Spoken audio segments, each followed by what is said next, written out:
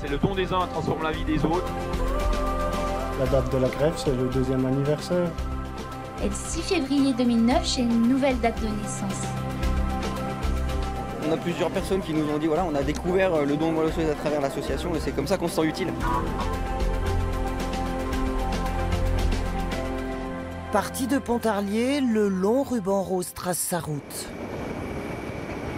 Bah, ça va pas trop mal, après on a fait plus facile en fait. On va pas se le cacher, hein. jusqu'à maintenant ça descendait quand même pas mal. 450 km d'une traite, tous ensemble, mais avec des pauses. Un peloton encadré par des casques roses, les parrains, des costauds, sportifs accomplis qui mettent leur notoriété au profit de la cause. On est touché par tous ces témoignages de malades qui, souffrent, qui, pour certains ne reviennent pas. Donc voilà, c'est simplement leur donner un petit peu d'espoir et puis toujours faire parler de, voilà, de, ce don de moelle osseuse qui est, si important en France et qui, qui manque cruellement dans les hôpitaux. Les heures défilent, les kilomètres aussi.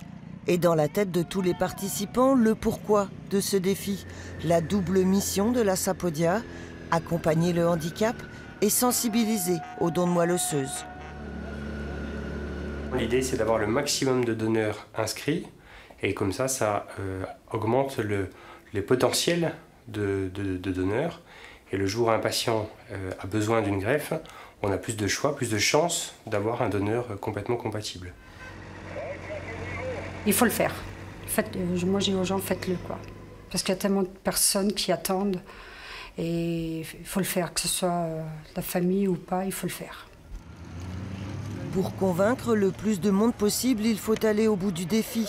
Alors, à Besançon, grosse pause pour le peloton. On recharge les batteries. Donne-moi un peu le guidon, s'il te plaît. Là. Bon, il y en a un tiers de fait Oui. Il reste deux tiers Vous êtes bonne en mathématiques? J'ai toutes fait les auditions, sauf, euh, sauf les Pyrénées et sauf la, première édition. Moi, j'ai fait tout seul. La prochaine fois, tu fais tout seul mon vélo? Non Non Le massage, il est où? Il est juste là-bas. Non, c'est pas moi, non, non. non. Les massages efficaces, attention là, elles sont très efficaces ces jeunes filles. Et puis après une bonne bière derrière. Euh...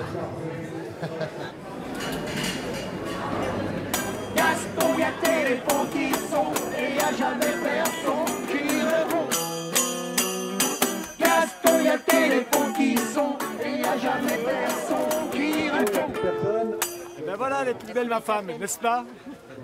On est beau quand même, hein, hein?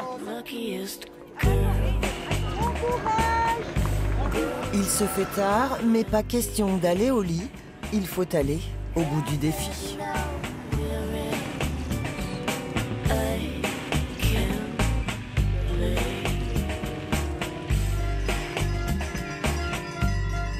Il y a une bonne ambiance dans le peloton. Ah oui, quand même. C'est pas une course. Oui. Voilà. Ça change tout. Ah bah oui. J'espère simplement qu'on pourra aider un petit peu ceux qui sont en difficulté. Ça sert à quelque chose, mais surtout ça sert à quelque chose positivement d'en parler. Et à travers, à travers des événements comme ça, bon bah c'est vrai que on, nous voit quand même. Et vraiment à travers le sport, ça fait vraiment une cohésion qui, qui, unit autour d'un effort. Donc c'est pour ça que je suis là. Et le goût du défi.